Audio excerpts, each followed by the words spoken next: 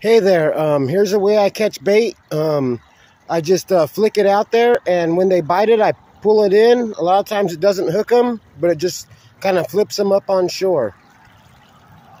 Got a little wax worm.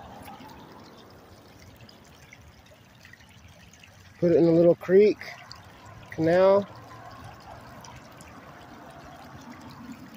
Whoop.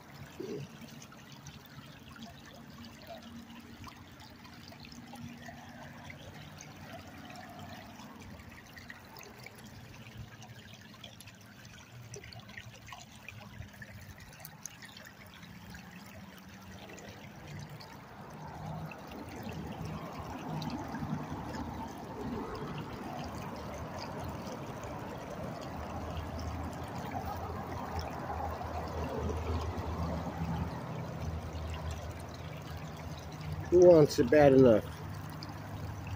Who wants it bad enough? And there we go. Little bitty bait fish. This one looks to be a baby, uh, I think maybe it's baby tilapia. All right, thank you, everybody.